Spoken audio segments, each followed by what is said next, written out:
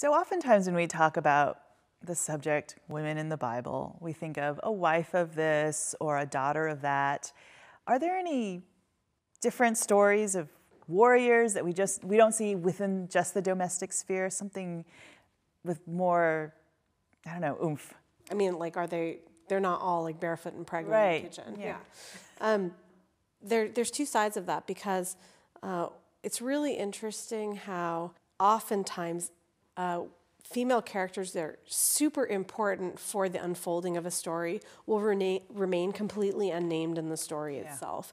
There's a character in Judges, Bat Yiftach, the daughter of Jephthah, and Oh, that's, that's how, a terrible story, right? that's yeah. yeah, it's, I mean, and it's actually really, um, it's interesting that she remains unnamed because she is a subject of sacrifice. She becomes sacrificed essentially by her father, Jephthah. And her um, body parts are sent to different Yeah. households. Or, okay. I mean, it's, it's just a crazy, crazy story because it's all her father's fault and she's the one who suffers. So that would be sort of like, you know, the assumption of like all of the like female biblical characters in a kind of patriarchal system must be either totally without agency or their agency is covert, right? And so I'm thinking about like in the case of like Rebecca, right, who's trying to get Jacob the birthright instead of Esau, right? The the the last blessing Right.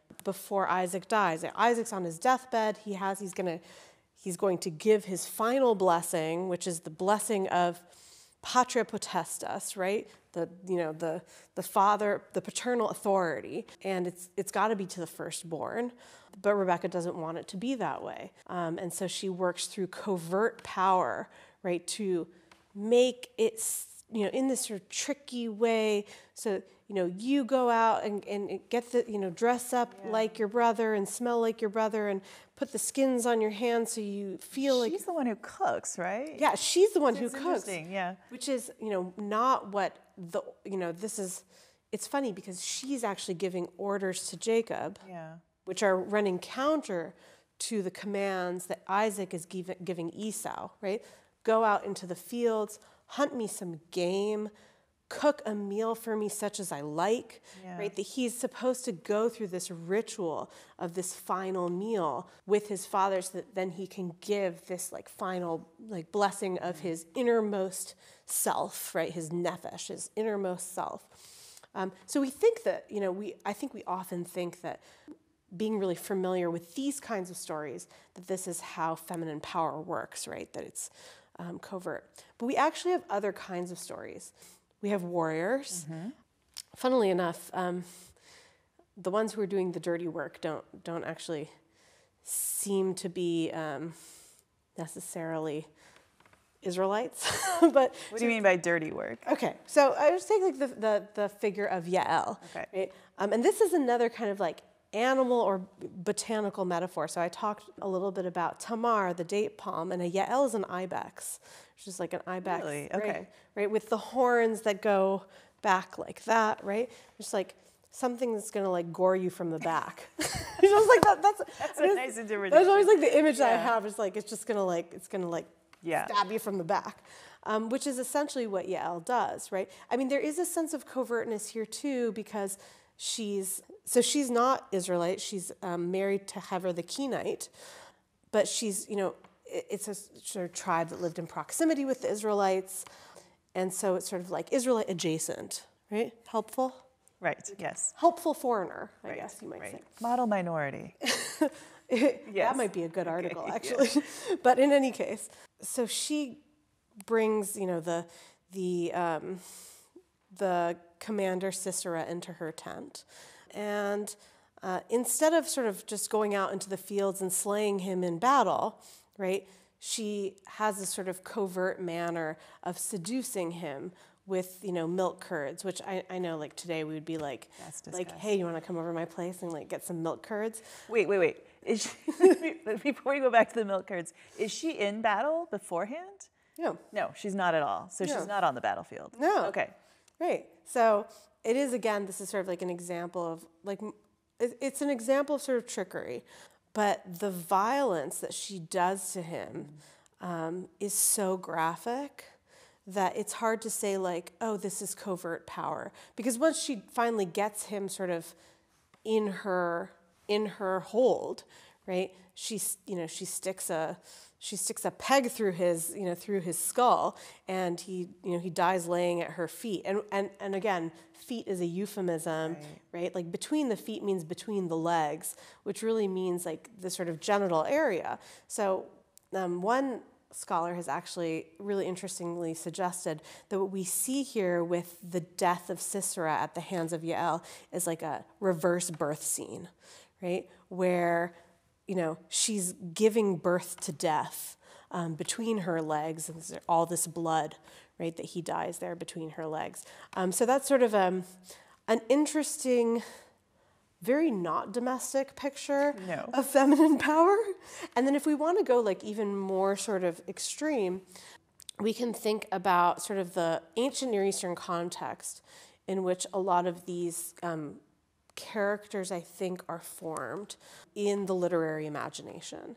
So if we think about all the stories of, say, for example, the Canaanite goddess Anat, who is, you know, very. Um, very much engaged in battle. There's one scene in the Canaanite um, Ugaritic epics where she's cutting off the heads of her.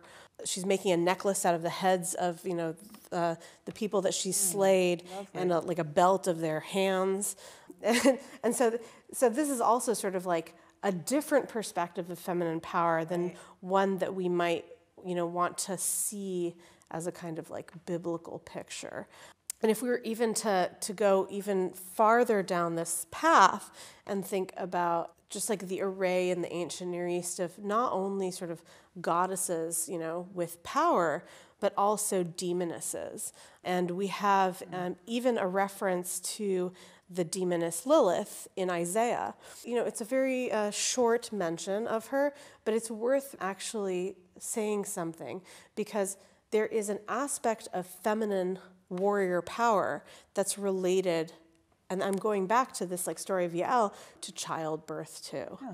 right? So it's linked to fertility in this really weird way. So lilith is this you know ancient mesopotamian becomes an ancient levantine demoness responsible for um, basically snatching babies and killing them. How would you differentiate between god and demon or goddess and demoness? So a a demon and a demoness are they are um, transmundane entities. it's like a weird way to say uh-huh. it, but um, that they invade sort of the, the bodily space of others. Okay. Right? They're sort of like, like possession. Or? There's possession, okay. right? Well, this is sort of a, a concept of medicine that might seem kind of foreign to us, but it's actually not all that far from germ theory, right? So like we think about like like viruses and illnesses that like invade our body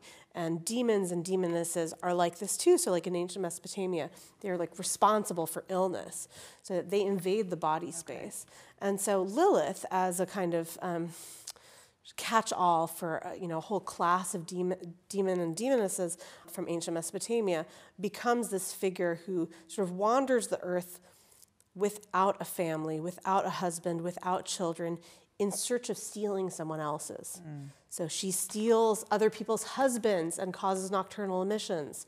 She steals other people's children, right? Um, so if you think about, you know, demons and demonesses through sort of a concept of characterization, character, um, it can make like a little bit more sense.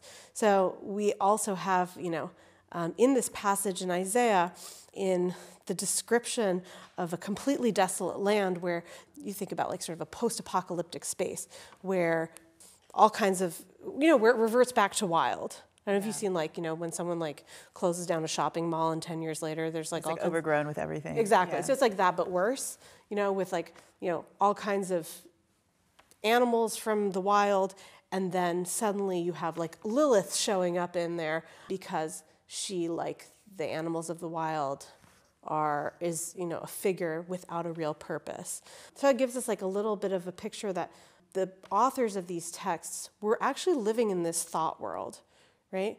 For them to include Lilith in a description of how, you know, an area might revert back to the wild shows us that they actually lived in this thought world that is not separate from sort of the ancient Near Eastern thought mm-hmm. world. And that gender is very much a part of it Yeah. and not sort of like a separate thing that like, oh, we have like women characters and we have male characters. It's like, no, I mean we have we have power dynamics and ideas of relationships and how they work in sort of paradigmatic Yeah. ways. So it's not like you have a gender and then that corresponding profile, but rather these things become fluid. Yes. And they're not limited to, you know, humans. Yeah. They're sort of imagined on like in the religious, if you will, imagination, Yeah. right? That they sort of travel in there too. Mm.